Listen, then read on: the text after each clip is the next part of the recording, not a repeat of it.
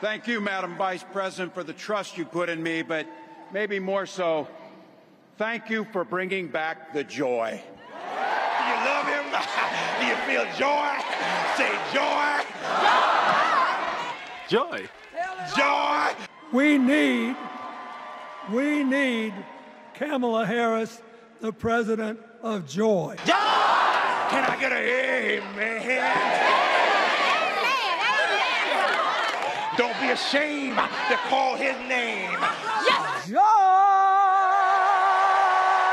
Lord, Only God can give that woman the kind of joy she has right there.